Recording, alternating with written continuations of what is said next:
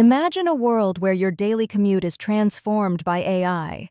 Picture this self driving cars seamlessly navigating through traffic, optimizing routes in real time to minimize delays. No more road rage or wasted time, just you, relaxing in the back seat, catching up on your favorite show or reading a book. Now think bigger. AI isn't just about personal vehicles, it's revolutionizing public transport too. Smart buses and trains equipped with AI can adapt their schedules based on passenger demand, ensuring that you never have to wait longer than necessary.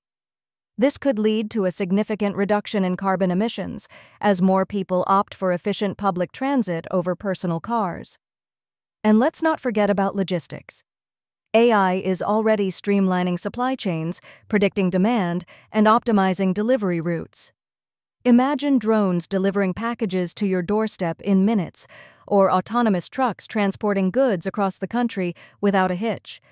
This could drastically cut down on delivery times and costs, making shopping more convenient than ever. In urban planning, AI can analyze traffic patterns and population growth to design smarter cities. We could see dedicated lanes for autonomous vehicles, reducing congestion and enhancing safety. The potential is immense. AI could not only make transportation faster and more efficient, but also safer and more environmentally friendly. As we embrace these technologies, we're not just changing how we move, we're reshaping our entire world.